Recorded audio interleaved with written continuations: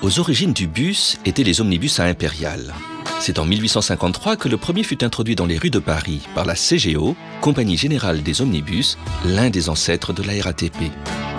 À l'époque, les voitures particulièrement lourdes nécessitaient d'être tirées par trois chevaux. En 1910, catastrophe. Un de ces autobus à étage se renversa à la place de l'Étoile. Cet accident poussa la CGO à supprimer les impériales en 1911 pour des questions d'équilibre et d'inconfort. En 1966, la RATP retente l'expérience, mais les autobus à étage imposent plusieurs contraintes, dont celle de devoir régulièrement élaguer les arbres qui bordent les allées parisiennes.